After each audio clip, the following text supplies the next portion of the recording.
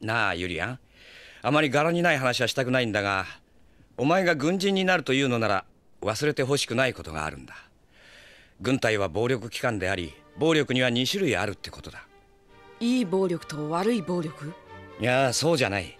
支配し抑圧するための暴力と解放の手段としての暴力だ。国家の軍隊というやつは本質的に前者の組織なんだ。残念なことだが歴史がそれを証明している権力者と市民が対立した時軍隊が市民の味方をした例は少ない。それどころか過去いくつもの国で軍隊そのものが権力機構と化して暴力的に市民を支配さえしてきた。昨年もそれをやろうとして失敗した奴らがいる。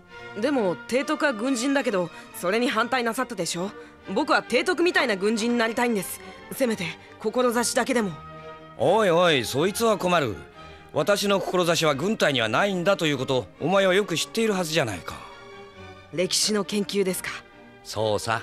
ペンは剣よりも強しこいつは真理など滅多に存在しない人間社会の中で数少ない例外の一つさ。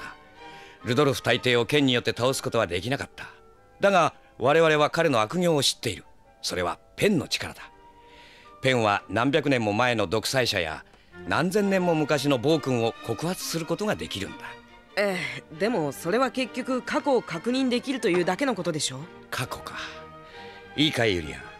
人類の歴史がこれからも続くとすれば過去というやつは無限に積み重ねられていく。歴史とは過去の記録というだけでなく文明が現在まで継続しているという証でもあるんだ。現在の文明は過去の歴史の集積の上に立っている。わかるかい？はい生物は子孫に遺伝子を伝えることでしか長い時の流れの中で己の存在を主張することはできないだが人間だけが歴史を持っている。歴史を持つことが人類を他の生物と違う存在にしているんだ。だから私は歴史家になりたかったんだ。それが最初のボタンをかけ間違えたばっかりにこのありさまだもんな。でも歴史を作る人間がいなければ歴史を書く人の存在価値もなくなるんじゃありませんか？